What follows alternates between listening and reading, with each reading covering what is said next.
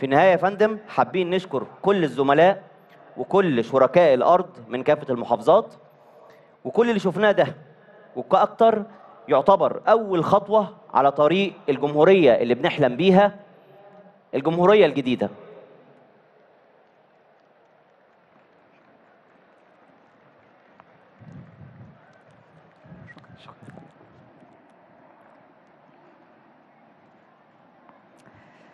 سيادة الرئيس أهالينا وضيوفنا الكرام مساء الخير لحضراتكم جميعا يا فندم.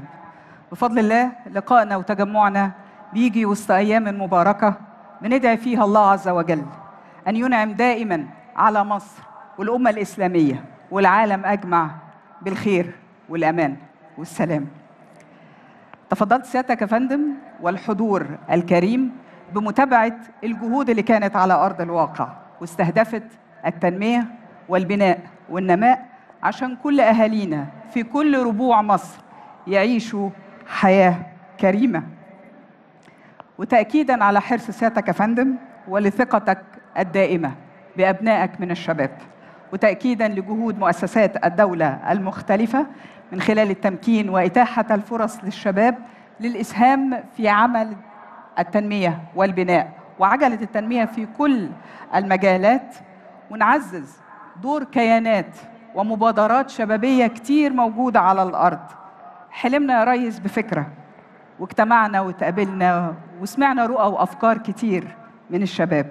وفكرنا إزاي كل هذه الجهود وكل الكيانات والمبادرات الشبابية تتحد وتتكاتف مع بعضها وتتعاون في إطار شراكات مثمرة مع مؤسسات الدولة سواء مؤسسات الدولة الحكومية القطاع المدني الخاص وحتى كتير من الجهات اللي كان ليها مردود على أرض الواقع وثمار في التنمية زي البرنامج الرئاسي لتأهيل الشباب للقيادة PLP الأكاديمية الوطنية للشباب وكتير من الأعداد من الشباب اللي ساهموا في جهود مؤسسة حياة كريمة وكذلك منصات الحوار اللي موجودة في الحوار الوطني للشباب ومنتديات شباب العالم.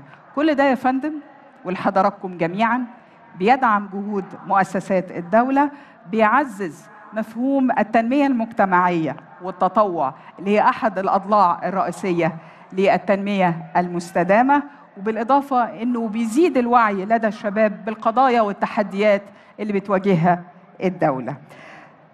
وعشان نحقق الحلم ده يا ريس والفكرة تكون بتتنفذ على الأرض بنستأذنك يا فندم.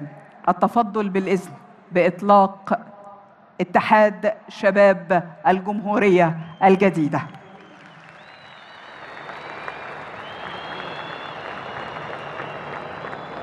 شكرا سيادة الرئيس شباب مصر الحبيب درة تاج الوطن ونبض قلبه أهالينا والحضور الكريم.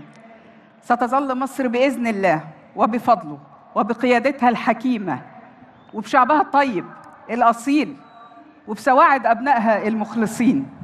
شامخة أبية بإذن الله. ودايما لقائك يا ريس بأبنائك بيكون الدافع والحافز ليهم عشان ينطلقوا ويسهموا بجهودهم في عملية التنمية والتنمية والبناء نحو جمهورية جديدة.